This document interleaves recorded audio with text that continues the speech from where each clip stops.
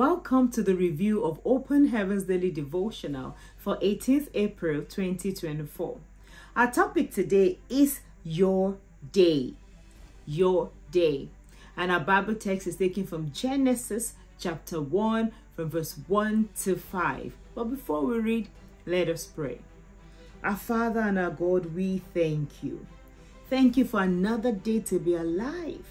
Thank you, Father, for your love for us. Thank you for the power in your word. Thank you for your presence in our lives. Thank you for the privilege to review today's devotional, to look closely at your word and learn. Father, teach our hearts, O God, and help us to walk according to your will in the name of Jesus. Thank you, Father. We give you all the praise. In Jesus' mighty name we've prayed. Amen. Genesis chapter 1 from verse 1 to 5, but I read verse 3 to 5 from the New King James Version. Then God said, Let there be light. And there was light. And God saw the light that it was good, and God divided the light from the darkness. God called the light day, and the darkness he called night. So the evening and the morning were the first day. Genesis chapter 1 speaks to us about how God created the earth and then, of course, day happened or day was first described in verse 5 where Bible says that God calls the light day and then darkness is called night, evening, morning, the first day. But the day is not only divided to the evening and the morning. We actually have morning, noon, and night. And we see that in Psalm 55, where David said, Evening and morning and at noon will I pray and cry aloud, and he shall hear my voice. So between one evening and another evening, we have the day and we have the noon and then evening again. And the Bible says to us in Psalm 90 verse 12, says, teach us to number our days that we may apply our hearts to wisdom.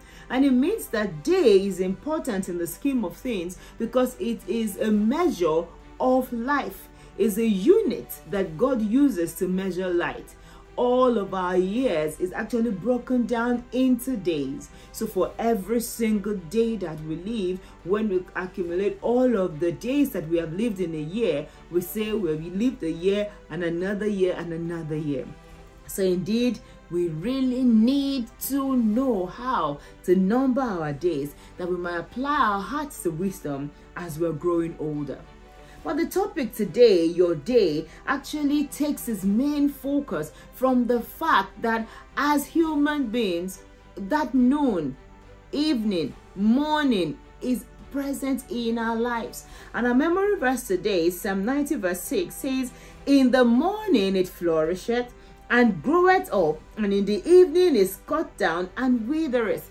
And this shows us that growth happens in the morning. You know, being birthed, being birthed, being young happens in the morning. Flourishing happens earlier in our lives. But when it comes to evening, there is a sort of decline. There is a cut down. There is a withering that is possible.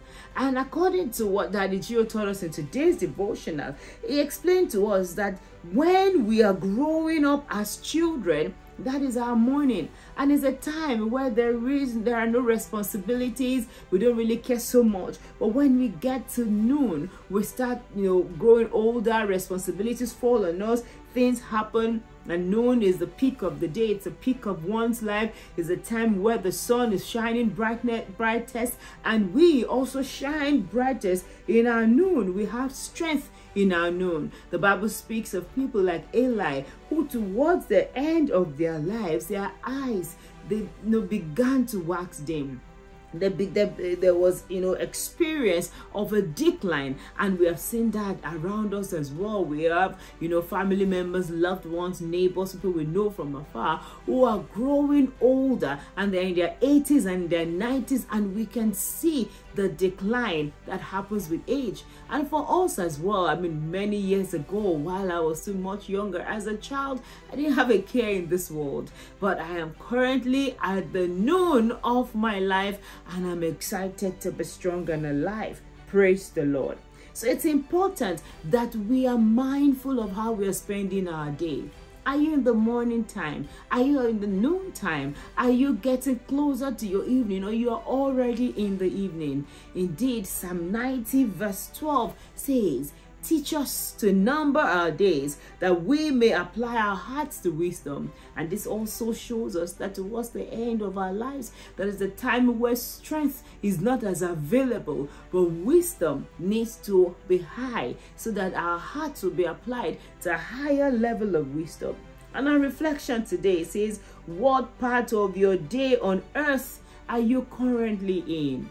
Are you thinking closely about how you're spending your time and your days? Are you thinking closely about what season of life that you are?